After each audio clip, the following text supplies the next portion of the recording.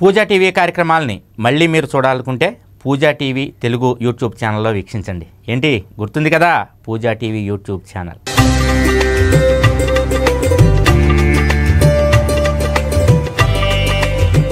దరిద్ర దేవత చెబుతోంది లక్ష్మీదేవితోటి. అసలు ఈ గొడవంతా ఎందుకు వచ్చిందయ్యా అంటే ఆ ఇంటి యజమానురాలు చీపురు కట్ట తిరిగేసి కొడుకుని కొడుతోంది. ఎప్పుడన్నా కోపం వచ్చినప్పుడు. చీపురు కట్టకు అవమానం జరిగింది కాబట్టి లక్ష్మీదేవి ఆ ఇంట్లో ఉండకూడదు. కాబట్టి లక్ష్మీదేవి బయటికి వెళ్ళిపోవాలి. కానీ వెళ్ళలేకపోతుంది లక్ష్మీదేవి. వీధి గుమ్మలకి పసుపు కుంకాలు రాయడం వల్ల ఏ ప్రతిరోజు ముగ్గు వేయడం వల్ల సూర్యోదయం అవ్వకుండా ముగ్గు వేయడం ఇంటి ముందు వేయడం వల్ల ఆ ఇంటి యజమానురాలు చక్కగా పూజ చేసుకోవడం వల్ల లక్ష్మీదేవి బయటికి వెళ్ళలేకపోతుంది.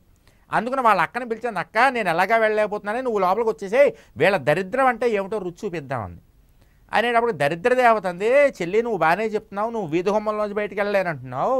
కానీ నేను దొడ్డు గుమ్మంలోంచి లోపలికి వద్దామంటే దొడ్డు గుమ్మానికి పసుపు రాసేస్తోంది ఇప్పుడు ప్రతిరోజు. దొడ్డు గుమ్మానికి కుంకుమ బొట్లు పెట్టేస్తోంది పెరటి గుమ్మానికి మామిడి తోరణం కట్టేస్తోంది ముందు తు- గుమ్మానికి సింహద్వారానికి ఎన్ని మామిడి తోరణాలు ఎన్ని పూలమాలలు గుచ్చేస్తోందో అన్నీ కూడా పెరటి గుమ్మానికి కూడా కట్టేస్తోంది. ప్రతిరోజు సాయంత్రం పెరటి గుమ్మం దగ్గర దీపం పెడుతోంది. పెరటి గుమ్మానికి పక్కనే ఉన్నటువంటి తులసి మొక్క దగ్గర దీపారాధన చేసుకుంటోంది చెల్లి. పెరటి గుమ్మాన్ని ఎవరైతే బాగా చూసుకుంటారో వాళ్ళ ఇంట్లో నేను అడుగు పెట్టలేనే వాళ్ళకి దరిద్రం నేను కలిగించలేను అని చెప్పింది అక్కగారు. లక్ష్మీదేవి ఉంది అక్క అక్క అలా కాదే. వీళ్ళకి ఏదో ఒక రకంగా మనం నష్టం చేయాలి. ఎందుకంటే చీపురు కట్టగా అవమానం జరిగింది. ఎంత గొడవ ఎందుకు వచ్చింది? చీపురు కట్ట వల్లే వచ్చింది.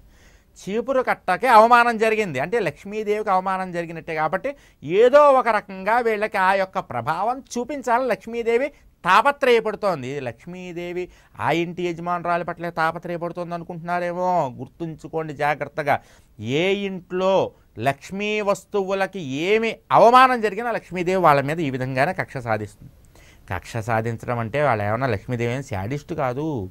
మనం చేసేటటువంటి తప్పులు ఏవైతే ఉన్నాయో ఆ తప్పుల వలన ఆ తప్పులకి వల్ల కలిగేటటువంటి ప్రభావం మనకి చూపించి ఎక్కువసారి మనం ఆ తప్పు చేయకుండా ఆవిడ మనల్ని క్షమిస్తుంది అందుకని లక్ష్మీదేవి దరిద్ర దేవత కలిసి అనుకున్నారట అక్క మనం ఏం చేయలేకపోతున్నాం. సరే ఒక పని చేద్దాం. వీళ్ళకి విఘ్నాలు కలిగిద్దాం. ఏదైనా పని మొదలు పెడితే వీళ్ళకి ముందుకు వెళ్ళకూడదు కాబట్టి విఘ్నాలు కలిగిద్దాం మనం అని అనుకుని గణపతిని పిలిచేద్దాం గణపతిని పిలిచి అన్నారు గణపతి నాయనా గణపతి ఏమవుతాడు? లక్ష్మీదేవికి మేనలుడు కదూ? విష్ణుమూర్తికి మేనలుడు. ఎందుకంటే విష్ణుమూర్తి నారాయణుడు. ఆయన యొక్క చెల్లెలి పేరు నారాయణి. అంటే పార్వతీదేవి. పార్వతీదేవి యొక్క కుమారుడు గణపతి. కాబట్టి విష్ణుమూర్తికి మేనలుడైతే లక్ష్మీదేవి కూడా మేనలుడే అవుతాడు వరుసకి. కాబట్టి అల్లుడు ఇలాగ వీళ్ళ కొంచెం విఘ్నాలు కలిగించవయ్యా. వీళ్ళ ఇంట్లో ఉండేటటువంటి లక్ష్మీ వస్తువు అయినటువంటి చీపురు కట్టక అవమానం జరుగుతోంది. కాబట్టి ఒక విఘ్నం కలిగించి వీళ్ళకి అప్పుడు వీళ్ళకి తెలిసి ఇంకా జాగ్రత్తగా ఉంటారు. గణపతి అన్నట అత్తయ్య నువ్వు చెప్తున్నావు బాగానే ఉంది.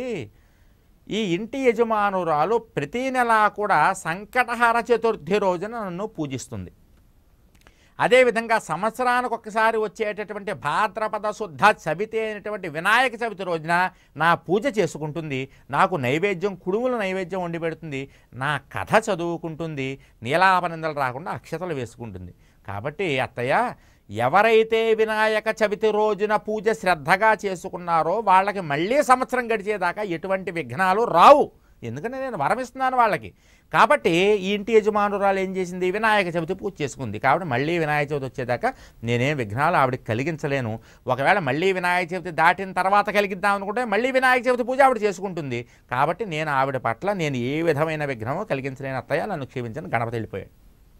వెళ్ళిపోయేటప్పటికీ లక్ష్మీదేవి ఇదేమిట్రా బాబు ఏం చేద్దాం అనుకున్నా కూడా ఇంటి యజమానురాలు ఇంత చక్కగా చూసుకుంటోంది అన్ని పనులు చేసేస్తోంది కదా ఇంకొకళ్ళు ఎవరన్నా పిలుద్దాం ఎవరిని పిలుద్దామని చెప్పేసి అని శనీశ్వరుణ్ణి పిలిచింది లక్ష్మీదేవి. శనీశ్వరుని పిలిచి నాయనా శనీశ్వరుడు ఏమవుతాడయ్యా? అంటే లక్ష్మీదేవికి వరసకి బావగారు అవుతాడు. అయ్యా బావగారు ఈ ఇంట్లో కొంచెం శనిపీడ కలిగించండి. శనిపీడ కనుక మీరు కలిగించారనుకోండి వాళ్ళకి ఎందువల్ల ఈ శనిపీడ కలిగింది? ఈ కష్టం ఎందుకు వచ్చిందని వాళ్ళకి అనిపిస్తుంది. అనిపించినప్పుడు అప్పుడు అయ్యో మన అవమానం ఏదో చేస్తున్నాం లక్ష్మీదేవికి సంబంధించినటువంటి వస్తువుల మీద అని వాళ్ళకి అర్థమయ్యి జాగ్రత్తగా ఉంటారు. అంటే శనీశ్వరుడు అన్నాడు లక్ష్మి నువ్వు చెప్పావు బాగానే ఉందమ్మా. నేను వీళ్ళని పీడించాలంటే వీళ్ళ ఇంట్లో ఏదో ఒక పని అరకొరగా చేయాలి వీళ్ళు. ఏం చెయ్యాలి? ఇంటి ముందు కుప్పగా చెప్పుల్ని పారేసేయాలి. అంటే వరుసగా పెట్టకూడదు అందంగా పెట్టుకోకూడదు. ఇంటి ముందు వచ్చేటప్పుడు కుప్పగా పడిపోయి ఉండాలి. ఒక చెప్పు ఇక్కడ ఒక చెప్పు అక్కడ ఇంకొక చెప్పు ఇక్కడ ఇంకో చెప్పు అక్కడ. అలా కుప్పగా చెప్పులు పడి ఉండాలి. అలా ఉంటే నేను ఆ ఇంట్లో అడుగు పెడతా. కానీ వీళ్ళింట్లో ఏముంది? అందంగా పేర్చబడి ఉన్నాయి చెప్పులు. ఏ ఇంటి ముందు తెల్లారేటప్పటికి ముగ్గు ఉండదో ఆ ఇంట్లో నేను ప్రవేశిస్తా. కానీ తెల్లారకుండా కళ్ళాబదిల్ని ముగ్గు వేసేస్తోందే ఈవిడ.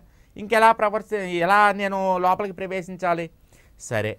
ఏ ఇంట్లో అయితే కాళ్ళు తడి పొడిగా కడుక్కుంటారో అంటే కాళ్ళు కడిగేటప్పుడు శుభ్రంగా కడుక్కోకుండా కాళ్ళు కడుక్కుంటే సగం పొడిగాను సగం తడిగా కొంతమంది కడుక్కుంటూ ఉంటారు అడ్డదిడ్డంగా. అలా కడుక్కుంటే కనుక ఆ యొక్క తడి పొడిలోంచి నేను ప్రవేశిస్తా వాళ్ళ ఇంట్లోకి. కానీ వీళ్ళు ఎప్పుడు చాలా శుభ్రంగా ఉంటారు.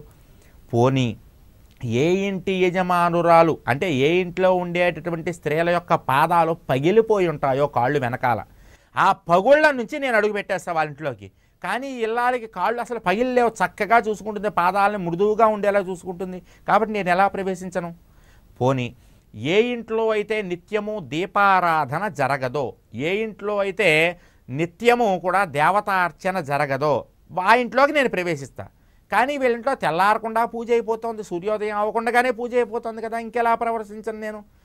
పోని ఏ ఇంట్లో అయితే పిల్లలు తల్లిదండ్రుల యొక్క మాట వినరో ఏ ఇంట్లో అయితే అన్నాన్ని వ్యర్థం చేస్తారో అంటే అన్నం కడుపు నిండా తినేటప్పుడు ఎంత కావాలో అంతే వడ్డించుకుని తినాలి.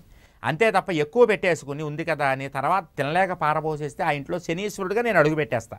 ఎందుకంటే వాళ్ళు అన్నాన్ని పారేశారు కాబట్టి. కానీ వీళ్ళింట్లో ఎంత కావాలో అంతే పెట్టుకుంటున్నారు చక్కగా. ఎటువంటి వ్యర్థం ఒక్క మెతుకు కూడా వ్యర్థం లేకుండా కుశలంగా తింటున్నారు. ఇంకా నేను ఎలా అడుగు పెట్టినమ్మా ఇంట్లోకి? పోని. ఇంటికి వచ్చినటువంటి అతిథిని ఎవరైతే విసుక్కుంటారో చిరాకు పడతారో ఎందుకు వచ్చాడరా బాబు వీడని అనుకుంటారో వాళ్ళకి చేసేటటువంటి అతిథి పూజలో ఏ విధమైన లోపం చూపిస్తారో ఆ ఇంట్లోనే అడుగు పెడతా.